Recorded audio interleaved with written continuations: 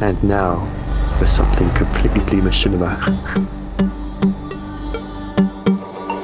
Tracy Harwood. Um, so I've done a little bit of digging around and I've discovered. Ricky Grove. Fog comes in on little cat feet.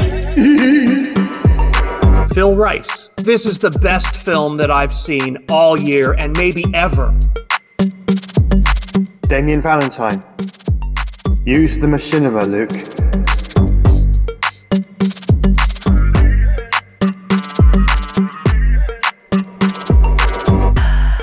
Hello and welcome to another installment of And Now for Something Completely Machinima. I'm Damien Valentine and I'm joined by Tracy Harwood and Phil Rice. Hey there. Uh, we've lost Ricky this week because the Elden Ring DLC has been released, and uh, all of our regular listeners will know that he's very fond of that game, and we are probably never going to see him again. yeah. Um, so this this week we're going to be talking about the various news that affects the machinima and its community. Um, we've got lots of interesting subjects to cover. Uh, Tracy, would you like to get started? Yeah, absolutely. Some stuff. Oh, I got bags of stuff again. Um, I got some general machinima things. Firstly, uh, Reallusion are hosting a character creator contest uh, with a phenomenal first prize of over forty-five thousand dollars worth of swag. Now, Whoa. yeah, I, Mm. uh, this is pretty amazing. One of the judges on it is actually also the fabulous Martin Klekner, whose historical Greek Odyssey um, is probably one of the most adventurous creative projects we've seen in recent years. The deadline for submissions is actually the 1st of September. Um, so if you're using Character Creator in your pipeline, do consider entering. Um, you both, Phil, Damien, I'm looking at you too as well because you've created some amazing characters, I think, using. uh, Well, using iClone maybe, but I guess you're using Character Creator underneath that. yeah, as Character well. Creator is Yeah. the is the software for doing stuff. I'm happy with what I've made because my needs are pretty small, but I don't hold a candle to to many of the people that use that. I, I know better than to enter that that particular contest. Uh, I will watch it with great interest because I actually sometimes am looking for s- someone to hire. Uh, but yeah, that's I'm still really just a baby for that. Um, but I appreciate the thought. Yeah, Uh-huh. Well, I think I'd find that quite a challenge as well. And I've created Star Wars characters, but I've got them specifically in mind. I don't think that those would be good to submit. Um, but I know I'll, I'll give it some thought. Maybe I can think of something to do. But uh, don't hold your breath of an entry from me. Well, I just think, you know, given that you're both doing that sort of thing, I'm guessing they're looking for ultra realistic characters, probably, you know, with all the, That seems to be the way that, that Yeah, their interests yeah. lean. Yeah. yeah, which is a shame, really, because I think 45K is a lot. it is. Wow. It is. I definitely think give it a go and see what kind of comes back from it. Um, I could retire. I don't think I could, unfortunately. but I wouldn't be entering it in any event. I'd probably be entering it with a photograph, maybe more than anything else. But I will put a link on the show notes so that anybody that's interested can kind of pick it up. So that's that's that one that I wanted to highlight. And then I found an interesting virtual book um, on how to be a video artist in Second Life. Um, it's by Stem Van Helsinki. Uh, costs Linden dollars 79. I don't know what that is in real money, probably about two pound fifty or something, or three bucks maybe. Um, I think it can only actually be read inside Second Life as well. So it Huh. requires you to kind of find a place in a sandbox area in Second Life and unpack it and use it from there. Um, I don't know anyone that has used it at the moment, but it looks like a really interesting idea. Um, and I was really intrigued to see it as a kind of publication and uh, and its distribution strategy in the in the way that, that I've just sort of shared with you. Yeah, that's pretty innovative. It is innovative, isn't it? Um, I think obviously if you're really into making Second Life films, my best advice is get along to Chantal Harvey's Monday Meetup. Um, there's a fantastic Facebook group that she's running. I think every week she she does it. They discuss more and more works. Um, Some amazing work flows through there. Absolutely. Um, so I would definitely encourage you to um, connect with Chantal and all the Second Lifers that um, are part of that community. Um, I will put a link to this one though, because I mean I've got a, a Second Life account. I, I'm I'm fairly certain I've got about two pound fifty's worth of Lindens in it, so I'll see if I can do it and have a look at it, um, and maybe even give it a go at some point. Um, I'm not so good at the uh, video creation side of it. Um, so that's that one. And then I found, do you remember last month we talked about Skibidi Sam? Do you remember that? Right. Toilet Sam. Well, it turns out um, that there's a bit more of a background to this than I had actually appreciated. It's been a meme that's been around for about a year. Who knew? Um, and I think it's been around longer than that. do you think? Oh well, I've seen it for longer than that, I, but I've never understood. I didn't have it. I still don't. I have no idea what the story is behind it. Ah, okay. It's a Well, very not- strange image. It, indeed. And I Yeah. I did read up on it and it's gone over my head a little bit. Anyway, there is a YouTube channel about it. Um, and there is actually a Roblox game for it too. So I will put links to those and you can do your own digging around um, and see what you can kind of come up with. Um, I actually thought, looking at it, our Ricky AI isn't that bad after all.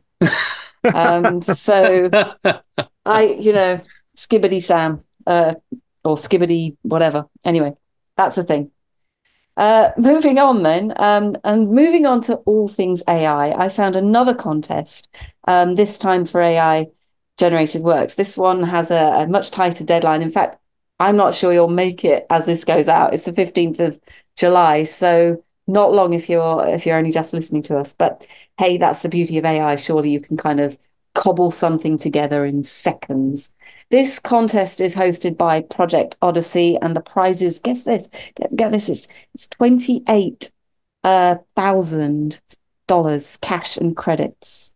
Good grief. This is a this is a pretty this is a you know there's a fair bit of money kicking around this, um so it's it's surely worth checking out. Um, so I'll put the link to that one in the show notes as well, and you've got seconds to get your film together on that. And I'm sure I'm sure you can do it. Um, Stable Diffusion has released its generative audio creator called Stable Audio Open.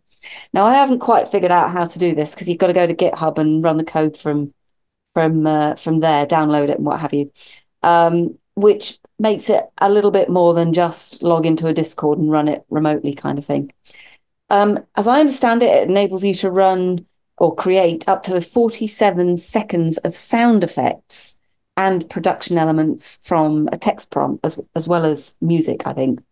Um, I'm quite intrigued by this, I have to say.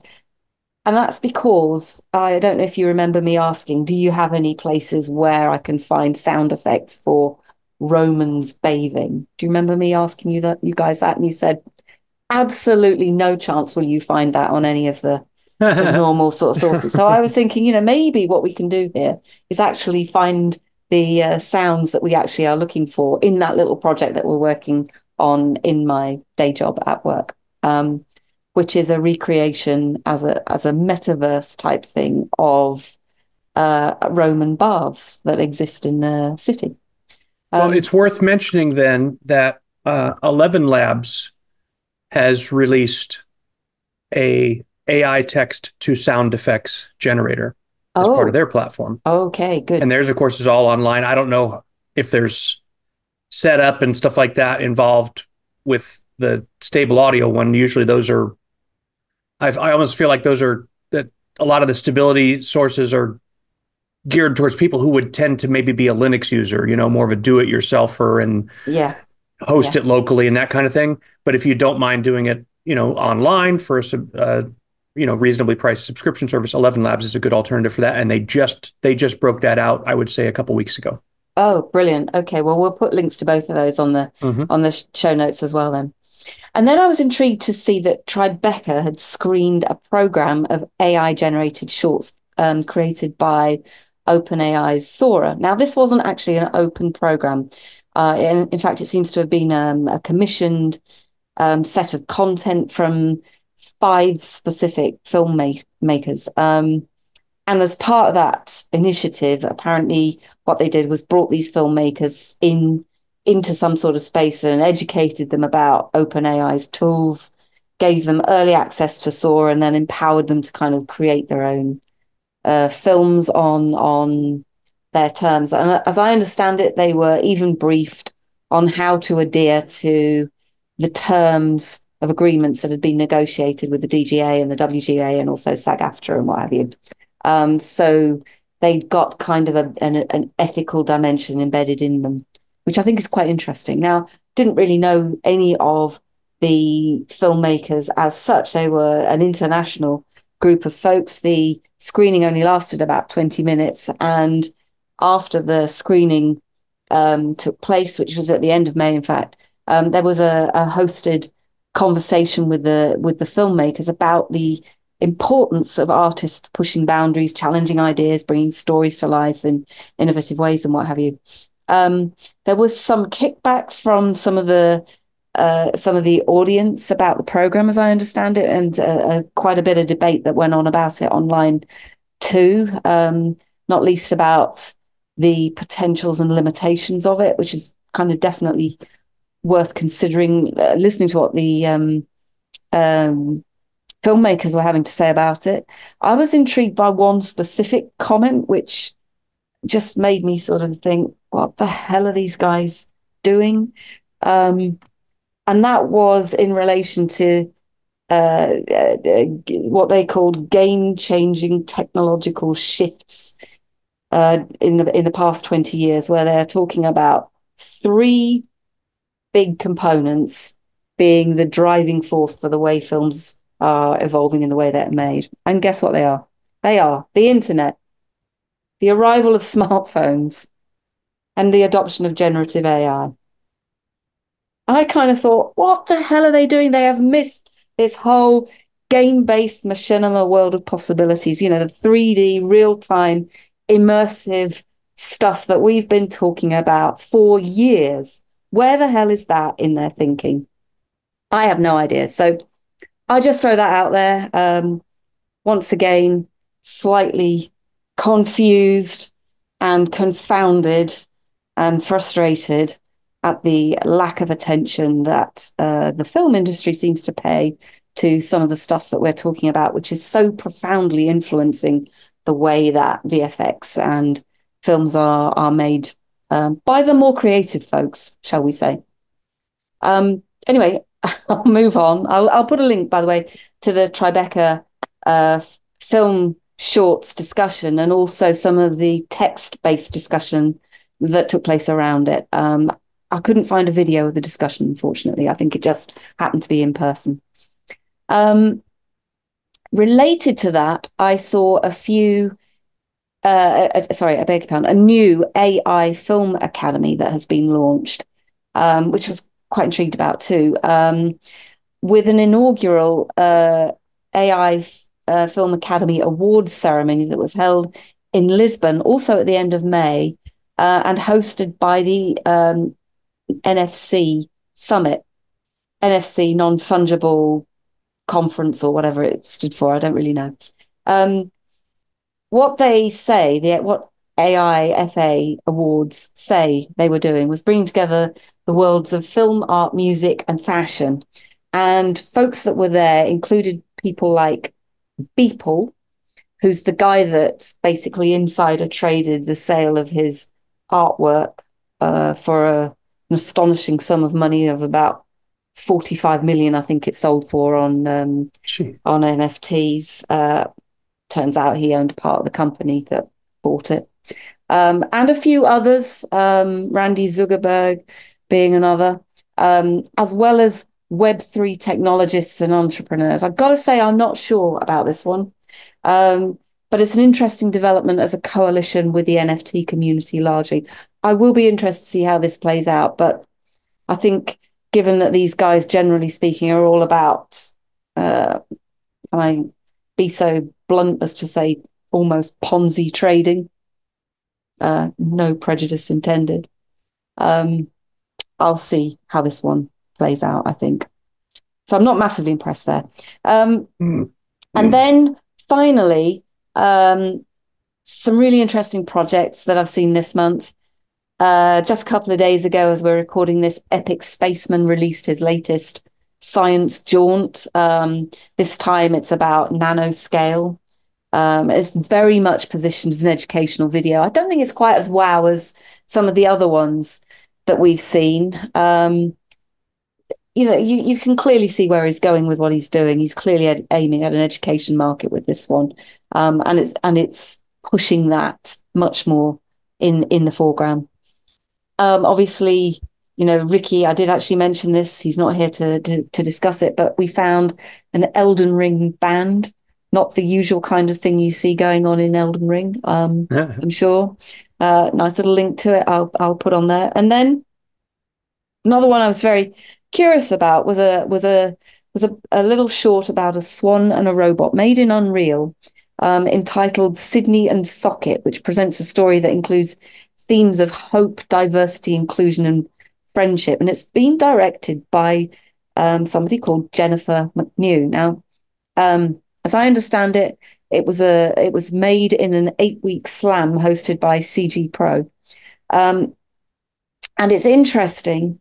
Uh, not so much perhaps for the output of it, but for the process that went into it. And it's worth mentioning here that McKnew is not um, she's not by any means uh, inexperienced. She's she's worked on over 40 feature films and TV projects as a VFX artist, and she's worked for the likes of Industrial Light and Magic, Sony, and DreamWorks. So, um, so McKnew is is not a McNewbie. Not a McNewbie at all. Very good point, Phil. Yeah. I, I yeah, nice one. Um, I'll put a link to that one as well. And then finally, if you want to see something that is a bit of fun, check out the speed comparison of 3D animals. It's absolutely hilarious and really inspiring. It's uh, kind of a visual animation of those books you used to read as kids, which explain to you the, the um, that man uh, isn't actually the center of, of Earth. It can be, you know, we can be outrun by snakes and cheetahs and dogs and what have you. And, and I absolutely loved it. It's made by Redside, um, and they've done a heap of other films in a in a similar sort of vein. It's game inspired, of course, uh, and everything is really kind of cool in it. Believe it or not, it's a 12 minutes long video. Um, but it slips by in just a few seconds. Um, nice. I, I think what I liked about it was um, the fact that you could hear animals running, so you could hear them pitter pattering across the ground in whatever form of legs that they've got. Um, and then there's also um, a, a, view from the back of the animal running. Um, and then you've got, you know, you've got the camera sweeping around them. It's it's great. I loved it. Um, it's not the kind of thing you expect to see. And given that there's kind of like, you know, predators running alongside prey animals, you kind of half expect them to sort of jump on each other at, at points, but they don't. It's just the speed that's being analyzed here. I think it's, uh, you know, for me on the par with e- Epic Spaceman's kind of um, show and tell type stuff. Um, but Sounds perhaps great. for a younger audience. Um, sure. And that's it from me this month. All right. Phil, I see. Let me, uh, yeah, I'll I'll inject just one real quick, simply because it's AI related. Um, I guess file this one under the uh, uh, backlash news. Hmm. But um, over on X, I saw someone make reference to uh, a story that there was a uh, a London cinema, I think it's the Prince Charles Cinema, uh, was scheduled to uh, to show a film that was reported to have its script written entirely by ChatGPT. Oh. Uh, which we can all scratch our heads as to whether that would be a good outcome, no matter how good the actors are, but okay. Uh, but apparently, there was enough of a backlash that uh, they pulled it. Oh. So, and that's really all that I know about it. I will will we'll make sure that there's a link to the article uh, in the news stuff. But uh, yeah, it's it's it's interesting. Um, I don't know if the backlash. Surely the backlash wasn't just general public, because I get the impression that the general public doesn't really have a strong opinion about Chat GPT, particularly, and this wouldn't mm-hmm. catch their attention. So somebody must have worked pretty hard uh, to call attention to this and drum up uh, enough support to. I would suspect that there was some organization behind that, but I guess we'll Um, we'll find out. yeah, I know a little bit about this. I don't know much about the film itself, but I did read about this. Um, my understanding is the film is about the dangers of AI generative content, and they used AI generative wow. content to make some of it. That's I don't know. I don't. yeah, You, you mentioned the script, so I don't know if that's the limit to it. If there's more in the film itself. Um, So it was a And- film, not a play, yeah? Yeah. Okay. and my understanding was initially the Prince Charles Cinema agreed to show it because they wanted to show that this is a could be a, something that it's a problem, that gen- generative AI. But then the backlash, I'm assuming it was creators who weren't keen on being replaced by generative AI. You know, the risk of that. Um, they are the ones that complained about it, and so Prince Charles Cinema said, actually, on reflection, we don't think this is a good fit for us. Ah, so in the U.S., that organization is called the Writers Guild, uh, WGA. Uh, I don't which- know if it was that them Well, I wonder- Yeah, but I wonder if I'm I'm assuming that uh, the UK probably has a similar Yeah. organization uh, where where professional writers and screenwriters in particular um, can kind of get together and and you know Yeah. make some noise about issues like this. So I I wonder if if a group like that was maybe involved in calling attention Yeah. to it or or or raising the protest. Probably. I mean, it. Well, I, I didn't read that specifically into it. I just know that there was that kind of backlash from creators who weren't happy that this AI generated film was Right. being shown at, at quite a prestigious cinema in London. Um, yeah, that's that's all I know about it as well. But it's definitely worth mentioning because the ongoing saga of uh, AI generative content and is it a good thing or is it a bad thing? That's going to go on for quite a while. Yeah, if I you- think the conversation just- is widening and the awareness Yeah. is widening too. Yeah. If you just cancel it, though, surely you are not then allowing for debate. I don't understand this cancel culture um, thing that's going on, really. I mean, uh, you know, I can tell you now, I run an art AI festival and have done since 2018. And what we try to do in that is show creative applications of AI that demonstrate the warts and all of it in interesting ways in order to generate public debate. yeah. And it's, you know, you but but by taking it away, you you're not helping the public make any kind of informed decisions, I think. I wholeheartedly agree. Yeah. They're going to have to the the people who are who have taken a position against this, they're going to have to allow those discussions to happen. Yes, they are. One way or the other. They- they- They're not going to get the result they want through no discussion. Mm. That's for sure. Uh, there is a risk, of course, that you know the discussion that the idea that they're backing won't win, but it needs to be debated. Absolutely. Yeah. Yeah. Great point.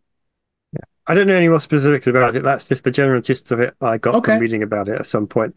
Um, Interesting. so yeah, maybe it's worth having a. yeah, I'll have a dig around, I think. Yeah. Yeah. All right, I've That's got all some, I've uh, got. Yeah, Damien, go ahead. Yeah.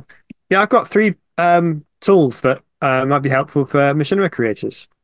So first up, we've got the Starfield Creation Kit has finally been released. Now these are the official mod tools for Starfield. It's official then. Okay. Yeah. Wow. Um, th- yeah, they were released about two weeks ago. Uh, yeah, they, they, they were announced and that it was they were, they were being tested and they were being very Bethesda were being very cagey about when they were going to release, and then suddenly they were here. Uh, Right. There was a they got announced during the um, Xbox Gamer Showcase thing at part of the Summer Games Fest. Um, they showed off the the upcoming DLC, which is coming later in the year, and at the end of that trailer, it said uh, coming today an update, and there was some new content. And it said and the mod tools, uh, and they're available later that day. um, there was a little bit of controversy with it because the tools are out there and they're free to download, and the mod support has existed for the PC version of the game, um, but it wasn't on the Xbox version until now. So now that the mods can be uh, played on the Xbox version, but there's now an official mod source built into the game, which is how you use them on the Xbox. Now, the controversy is not about that specifically, but it's about that Bethesda have monetized the mods. through Oh. that platform.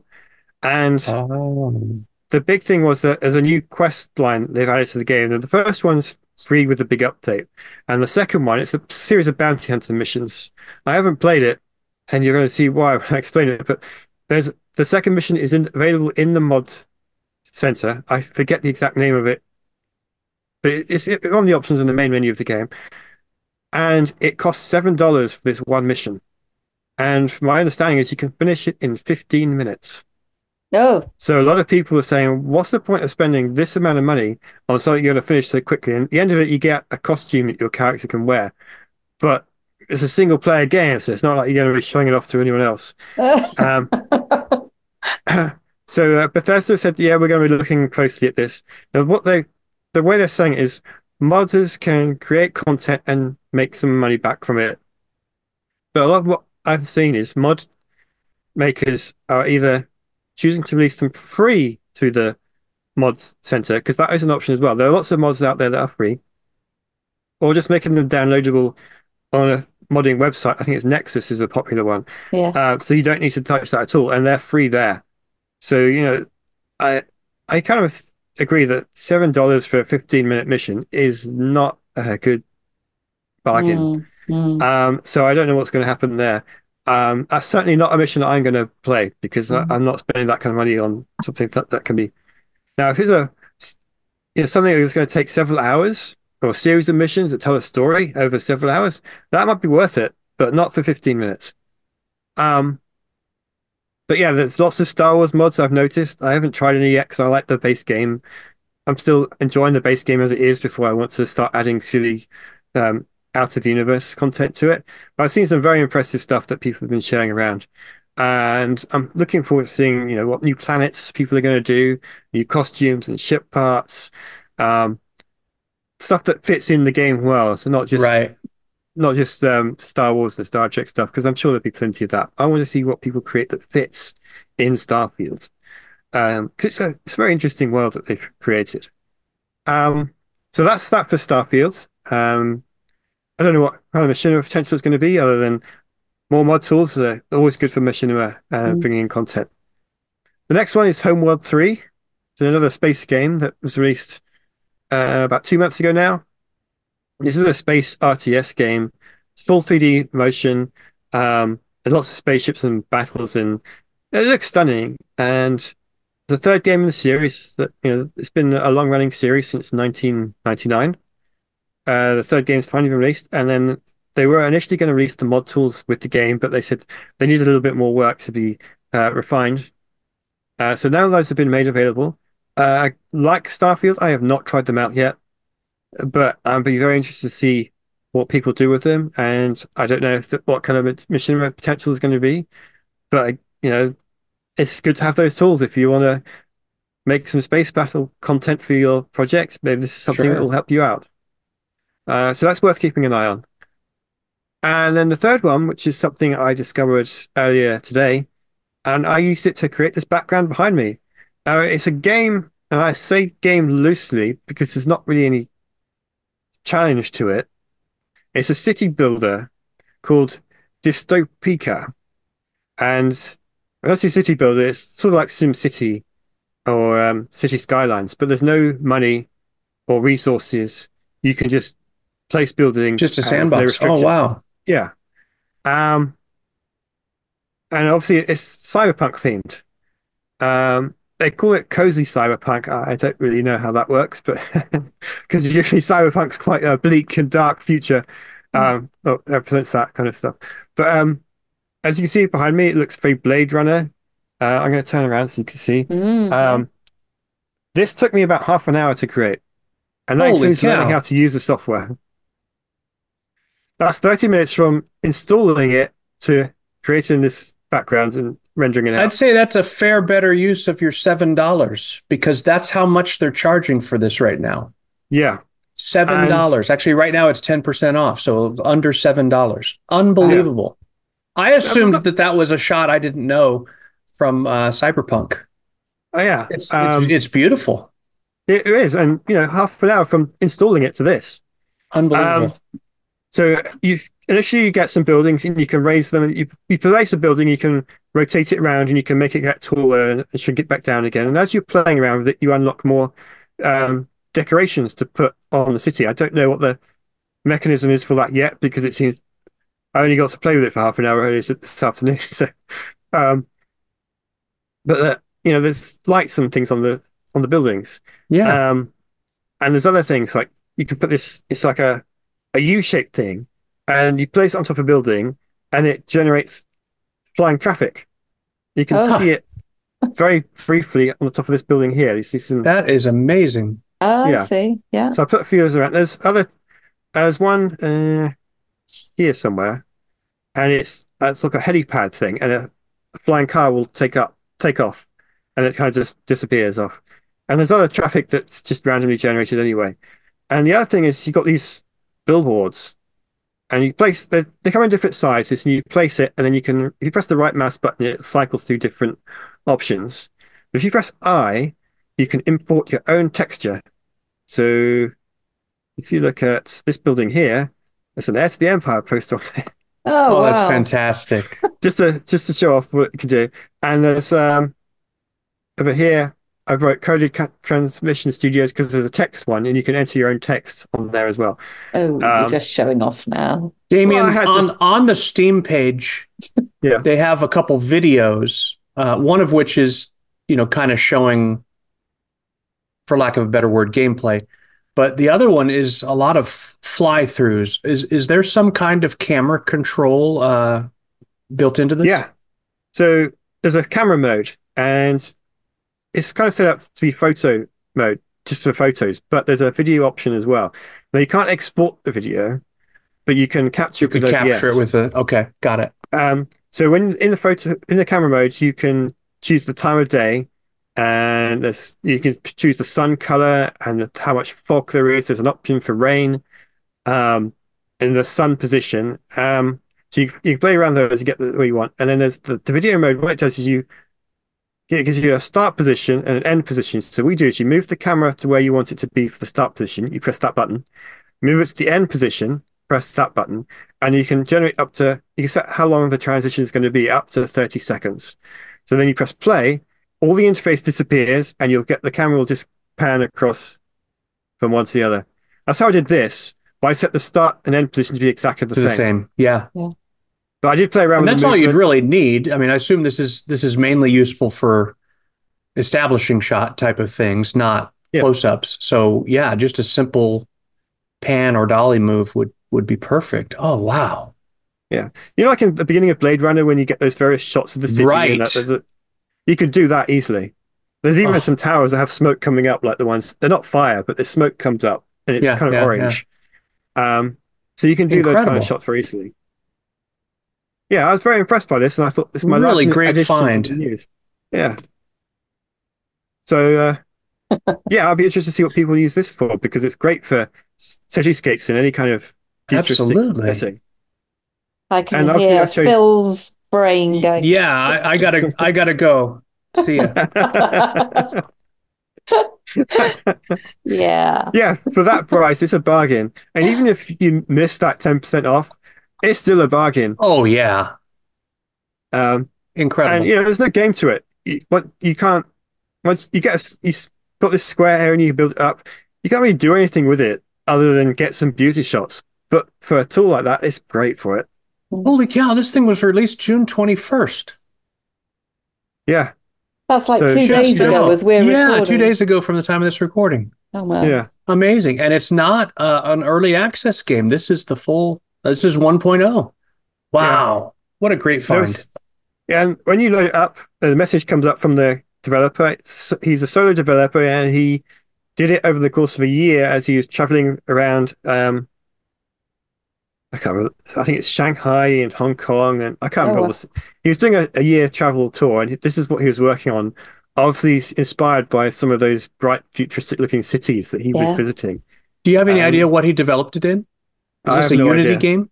Yeah, I I, can't idea. tell from looking at it. It's gorgeous. The lighting Yeah. is wonderful. The atmospherics, oh my goodness. Yeah, I'm so a I little chose a night setting, but you know, you can play around with all kinds of things. Brilliant. So, yeah, that, that's I think that's wrapped up the news for this month. Uh, so uh, let us know if you uh, enjoy any of this news, uh, if you find any of these tools um, helpful. If you're going to enter the AI uh, contest that Tracy talked about, or the character creator contest, do let us know what you sent in because we're very interested in seeing what people come up with. Um, if you've got any other views on some things we talked about, please contact us at and now uh, talk. Is it? talk at completely Thank you. There. Talk, send us feedback there. so that, that's it for um, for me, Damien Valentine, uh, from Tracy Harwood and Phil Rice. Uh, I'm sure Phil's about to head off to this futuristic city and make his own. Goodbye. Uh, Good, goodbye. goodbye. All right, we'll catch you all next week. Bye. Bye. Bye bye.